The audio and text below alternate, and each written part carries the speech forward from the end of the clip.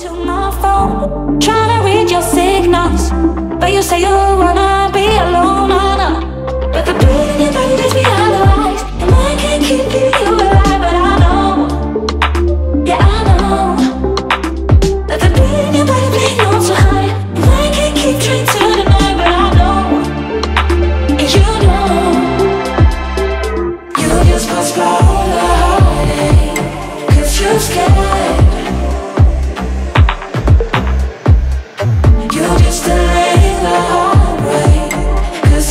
Oh.